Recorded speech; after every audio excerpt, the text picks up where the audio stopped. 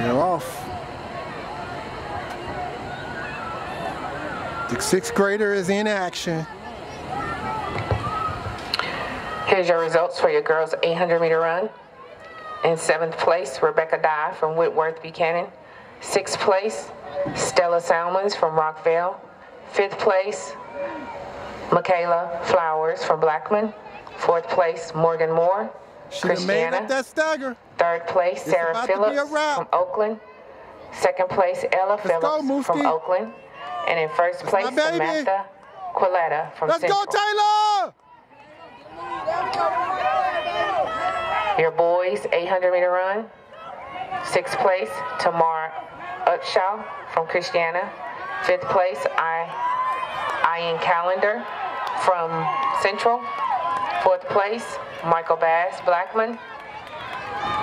Place, Joshua Bisco, Christiana. Second place, Blake Yernge for from Central. And in first place,